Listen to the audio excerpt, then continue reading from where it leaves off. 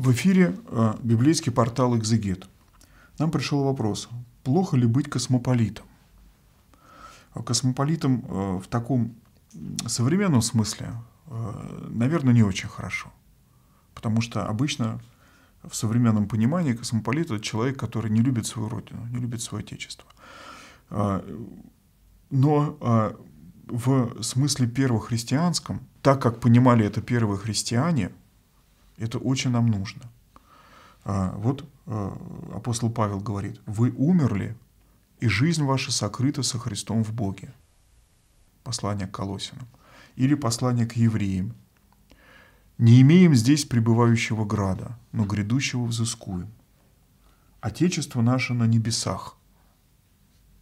Посмотрите, эти слова, они воплощались в э, житиях святых.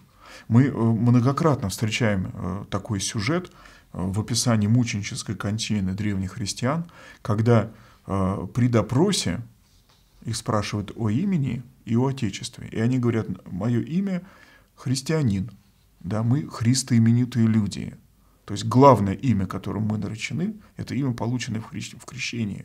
Мы Христовы. А откуда родом, спрашивали, из небесного Иерусалима.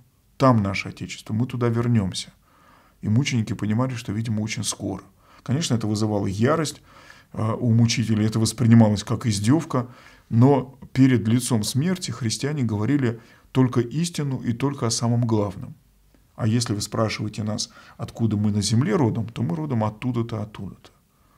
Вот это ощущение того, что жизнь наша здесь закончилась, а мы уже причастны к жительству на небесах, к тому городу, к небесному Иерусалиму, куда мы стремимся, оно очень живо было тогда, когда смерть могла оборвать жизнь христианина в любой день. Он мог быть предан на мучение.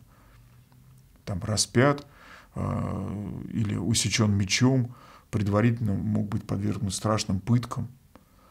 Поэтому в этом смысле, да, наше главное Отечество – это не Россия, это небесный Иерусалим.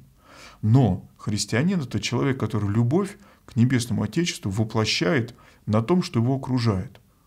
Поэтому настоящий христианин – это человек, который любит свою родину. Это круг его любви. Так же, как он любит своих близких. Так же, как он любит свою семью – и э, более того, апостол Павел говорит, кто о своих и, и наипаче домашних не печется, тот отрекся от веры хуже язычника.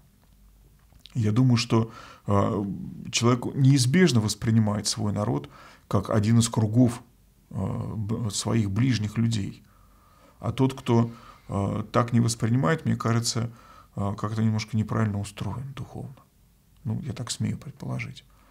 Поэтому э, космополитизм в современном понимании, он, э, мне кажется, свидетельствует о некой ущербности человека.